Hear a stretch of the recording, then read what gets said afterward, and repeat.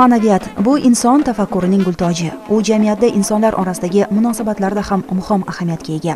Buxoro shahar san'at maktabida tashkil etilgan ma'naviyat karvoni tadbiri yoshlar ma'naviyatini yuksaltirish va davlatimiz rahbari ilgari surgan besh muhim tashabbusni ta'lim muassasalarida amaldagi ijrosini targ'ib etishga qaratildi.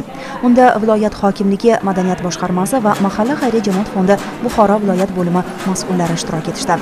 Dastavval mehmonlar maktabda tashkil qilingan ma'naviyat karvonidan o'tib har bir bekatda iqtidorli yoshlar bilan tanishdilar. Ahamiyatlisi har bir bekat mehmonlarni o'zbek adabiyoti va musiqa san'atining yorqin vakillari ijodiga oshno qilishga qaratildi. Tabiiyki ularning ijodiy ishlari iqtidorli yoshlar tomonidan sahna ko'rinishlari she'rxonlik kuy va qo'shiqlar orqali taqdim etildi.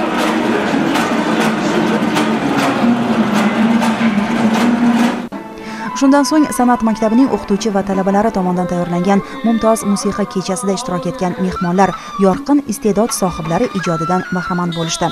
Kechada yaqindagina tavallud kunlari nishonlangan yorqin siymolar navoiy va bobur g'azallari bilan mumtoz qo'shiqlar kuylandi. Dardu balo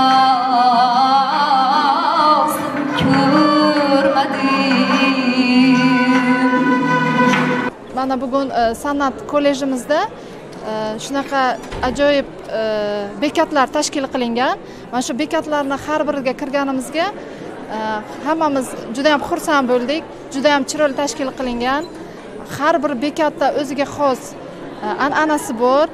Bolalar tomonidan ijro etilgan g'azallar raqslar e, miniatyuralar hammani o'z xursand qildi. Mahalla xayriya jamoat fondi buxoro viloyat bo'limi tomonidan san'at maktabi rahbariyati va bir guruh faol ustozlarga tashakkurnomalar hamda maktab kutubxonasi uchun badiiy adabiyotlar jamlanmasi tuhfa etildi.